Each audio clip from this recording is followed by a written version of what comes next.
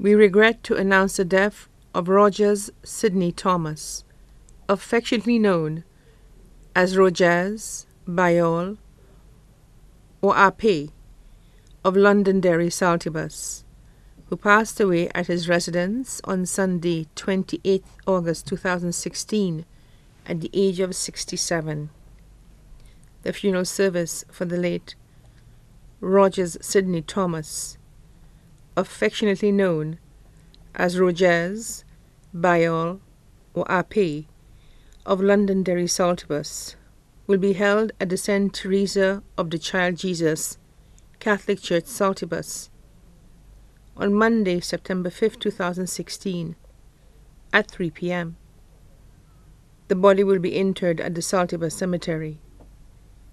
His body now lies at Crick's Funeral Home Limited, River Doree, Choiseul.